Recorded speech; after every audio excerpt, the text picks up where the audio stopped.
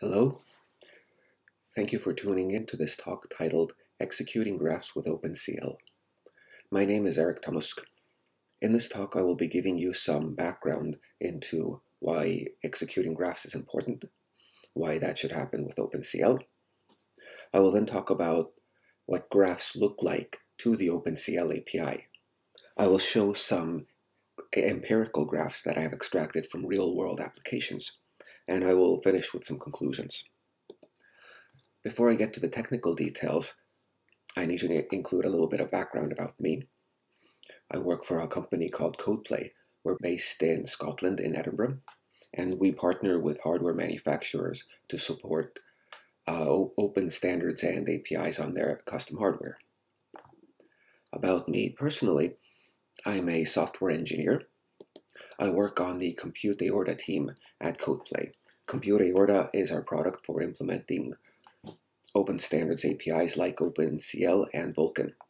I work on, mostly on the OpenCL runtime side of things, and that's the perspective I'm bringing to this talk. I won't talk much more about the Compute Aorta product, but at last year's IWOCL, my colleagues Alistair and Ewan gave a quite a thorough overview of this, so if that's interesting to you, I encourage you to look this video up. Also, I need to give a shout out to a number of my colleagues. For this talk, I had to look at several layers of the software stack that I'm not used to, and there were a number of people at CodePlay who were very helpful for helping me get my head around it. So with that out of the way, let's get to the technical details. This is the slide where I've gone on the internet and I found pictures, and I'm going to use those pictures to try to convince you why the topic of this talk is important. So when we're talking about OpenCL, we're often thinking about hardware accelerators. And when someone says hardware accelerator, what they're usually thinking of, or the first thing that comes to mind, is a GPU, or a graphics processing unit. And GPUs have historically been designed to be able to crunch lots and lots of numbers in parallel, because that's what you need to do to draw graphics onto a computer screen.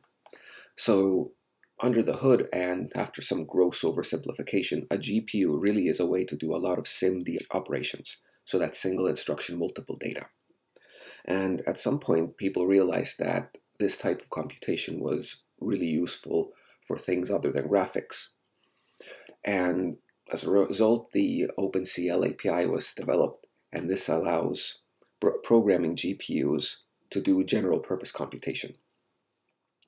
Now, something that that's been happening over the past few years is that some more different types of hardware accelerators have been showing up in the industry. And I've included a few pictures of those here. So the first of these that I've included is a diagram of the wafer scale engine from Cerebras. The second diagram is the IPU from GraphCore, and the third diagram is the Grayskull chip from TensTorrent. And what these accelerators have in common is that rather than having a single render pipeline the way a GPU might have. These accelerators are composed of a large number of mostly independent computational units.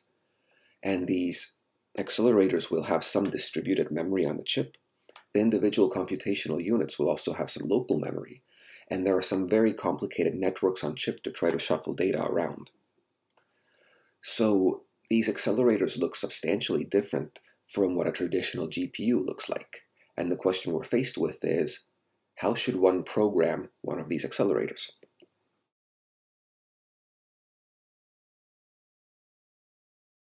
But before we can answer that question, we need to understand why these accelerators exist. And the short answer to that is machine learning. Machine learning requires a huge amount of compute resource and a huge amount of memory.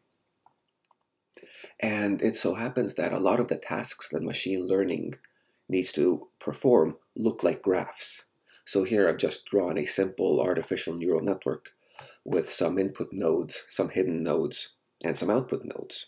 And we know that machine learning is hugely important to the industry at the moment. And because machine learning tasks look like complicated graph executions under the hood, there are a number of hardware vendors out there that are designing these very large hardware accelerators to accelerate the types of graphs that machine learning problems want to execute. And so the question becomes, since OpenCL predates the machine learning revolution and some of these accelerator devices and the types of neural networks we're trying to execute at the moment, where does OpenCL fit in with this picture? So often it's easy to think that if there is an artificial neural network like the one that I've drawn here, and if I have access to a graph accelerator device, then I can just run this neural network on this accelerator device. But this really isn't the case. So in fact, this, uh, these machine learning models, they're implemented with some sort of machine learning API, which exists on top of some machine learning compiler, which is used to convert the model to some lower level representation. And the machine learning model exists on top of some sort of machine learning library which provides utilities and runtime support and so on. Underneath those pieces of software, there will usually be a, a device compiler which is specific to the particular accelerator device and it's used to compile code down for that device. And all of the stack needs to exist on top of some sort of device driver which um, is used to access the device. And this software stack all of it executes on top of some sort of CPU. And it's really just the device driver that does the communication with the accelerator device. So there are a number of different stacks in the industry that try to bridge this gap between a neural network that someone might be working with and the graph accelerator that someone might want to run the neural network on. And depending on who you talk to, different people will put different names onto different boxes in this diagram and they might divide the boxes up differently. But we have this fundamental problem that there is quite a bit of distance between a machine learning model and an accelerator device. One of the software stacks that we work with at CodePlay looks a little bit like this. So the machine learning model will be implemented inside Python. And Python really just provides an interface to TensorFlow. So TensorFlow will take the machine learning model It'll, it will convert it into some sort of graph, which is composed of TensorFlow operations. Then TensorFlow uses the SYCL backend to convert these operations into C++. And SYCL will then compile the C++ operations to some intermediate representation. And all of that information is passed down to OpenCL.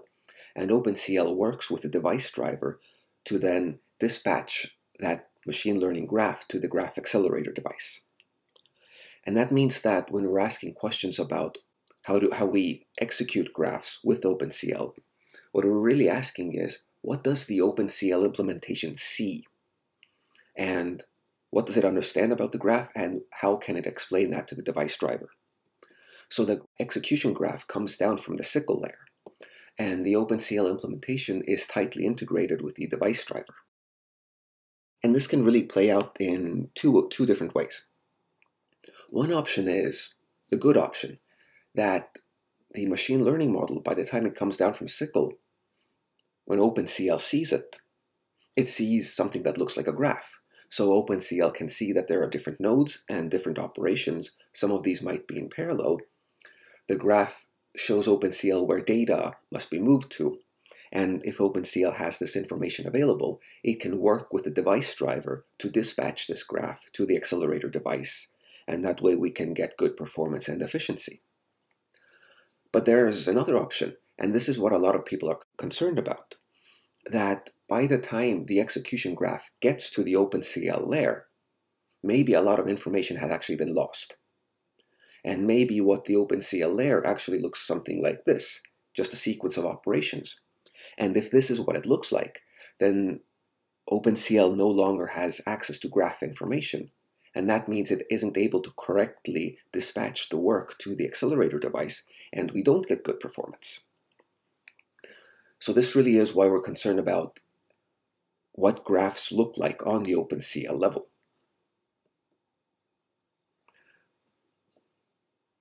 And so to understand that a little bit more, I'll show you a little bit about what our OpenCL actually knows about when a graph is passed down to it.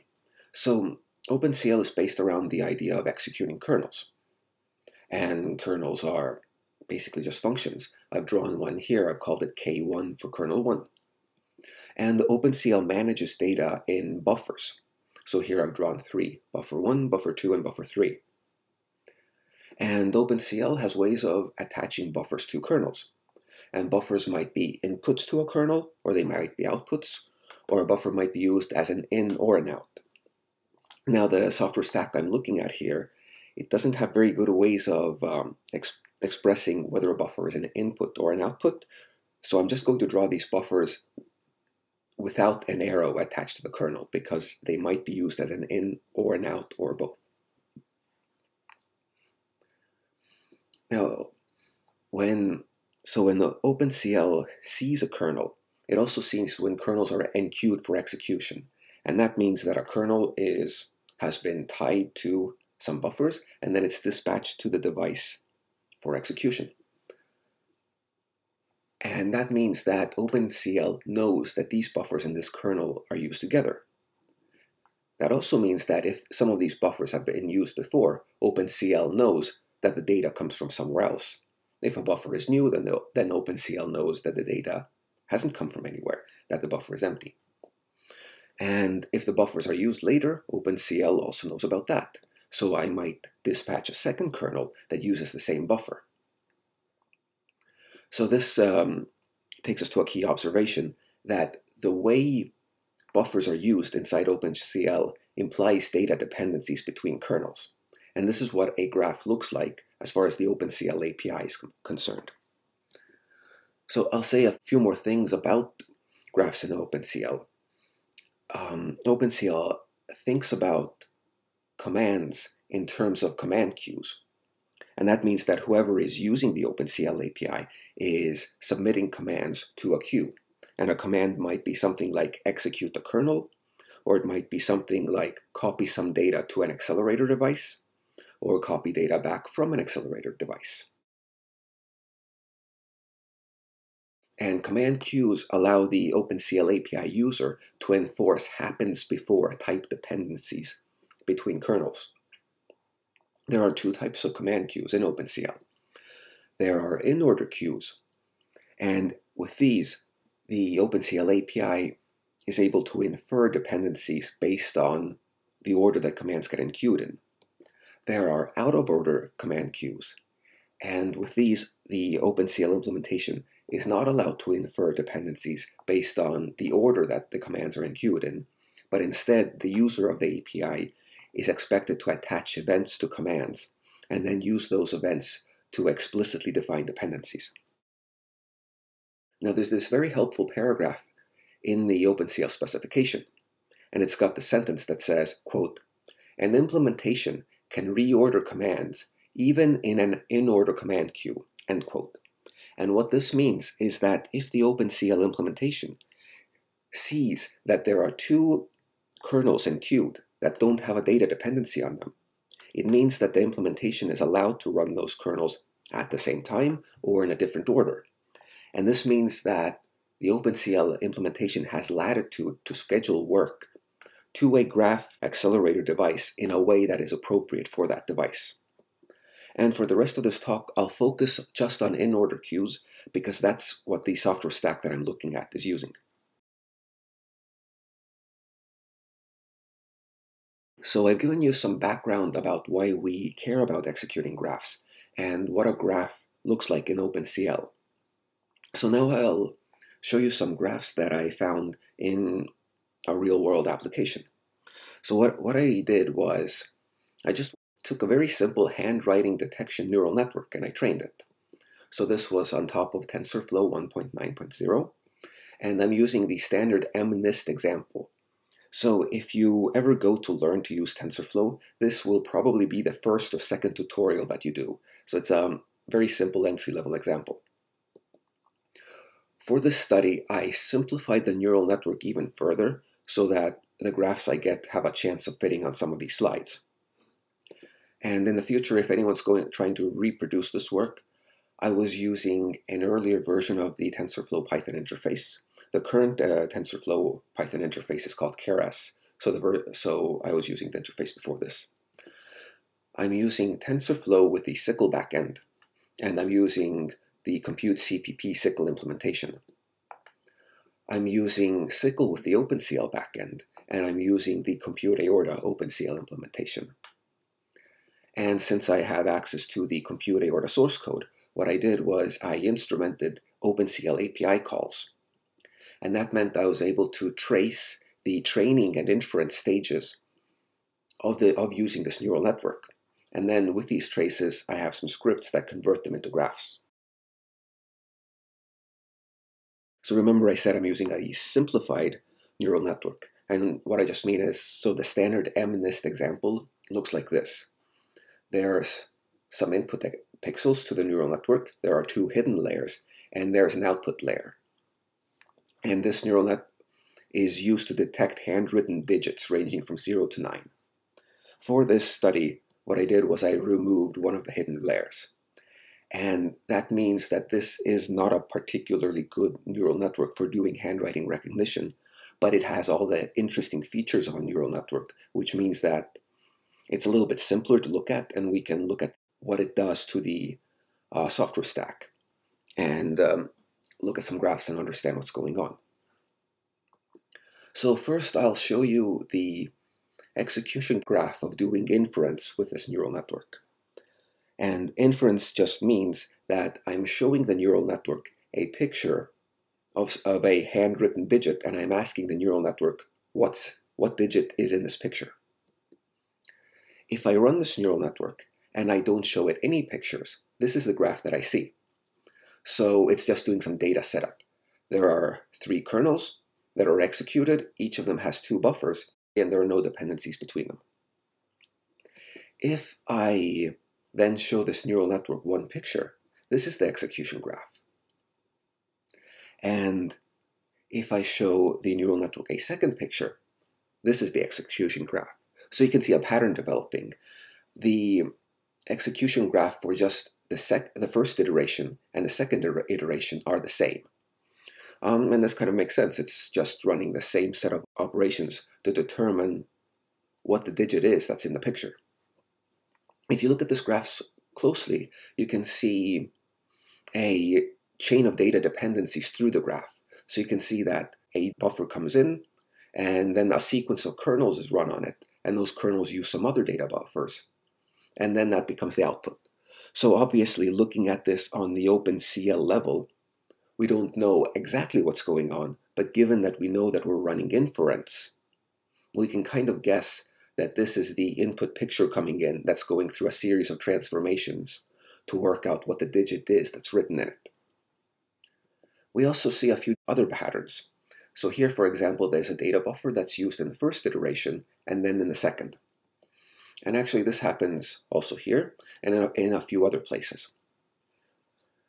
So what's noteworthy about this is that because this particular software stack doesn't make it clear whether a data buffer is being written to or read from or both, it's not clear if these buffers are being modified by these kernels.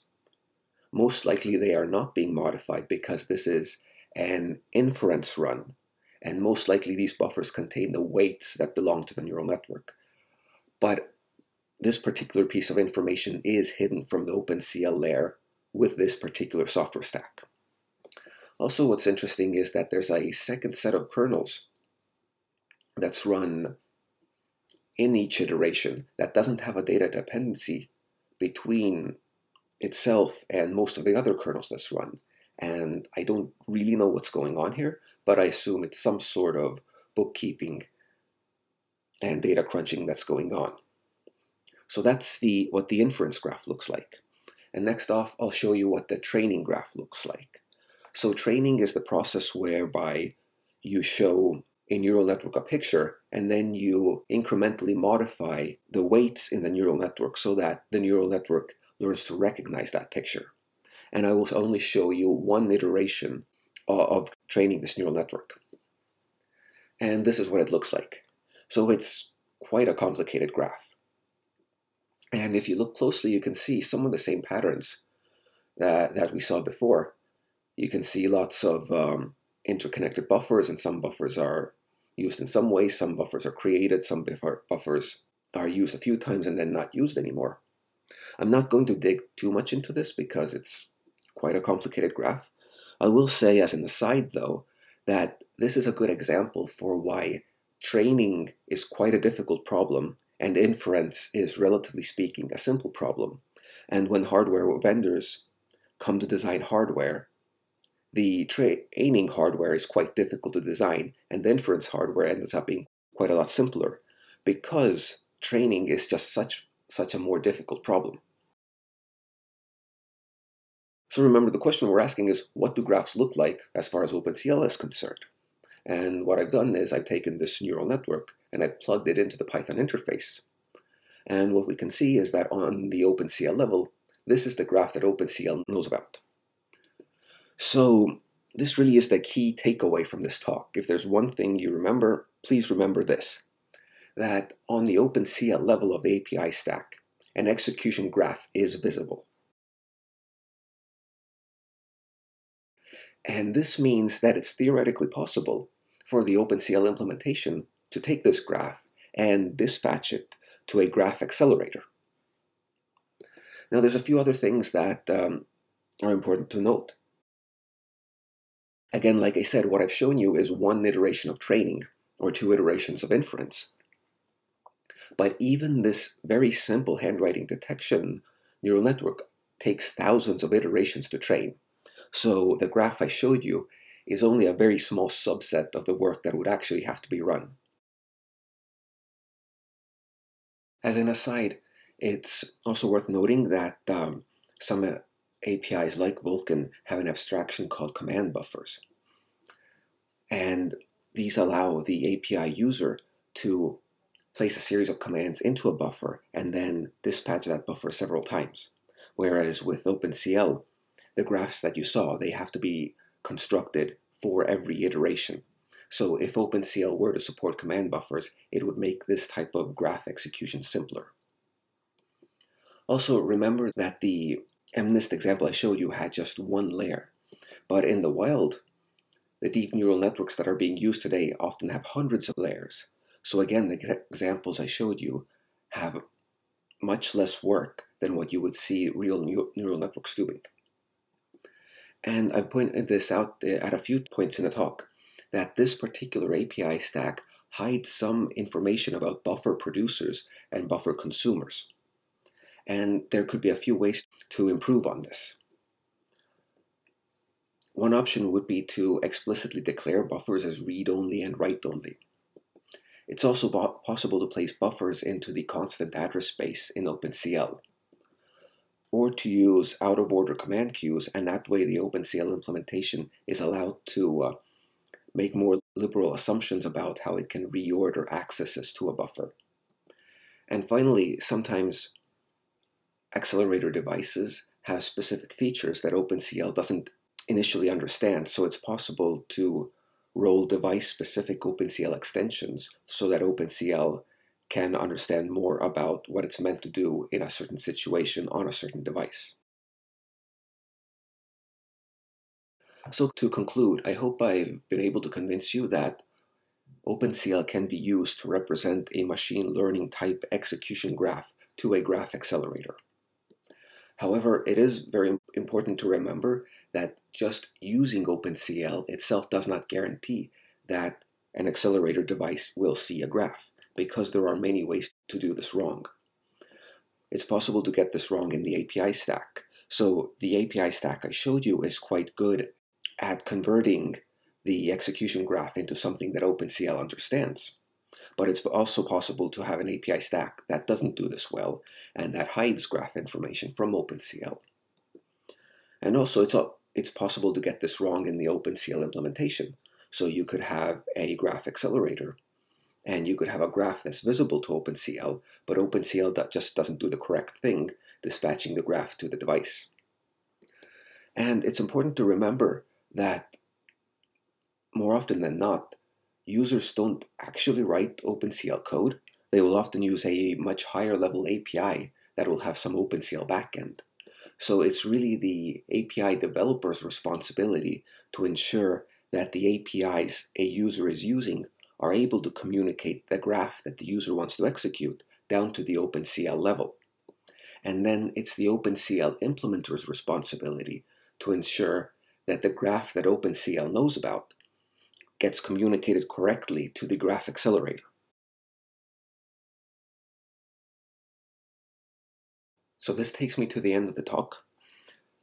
If you're watching this as part of IWOCL 2021, then I will be hanging out in the Slack channel for the next few days. So if you have any questions, please ask them there. Otherwise, you're also welcome to send me an email at this address. And if this type of work looks interesting to you, then we're hiring at CodePlay and we're always looking for great people to join us. So thank you for listening and please enjoy the rest of the workshop.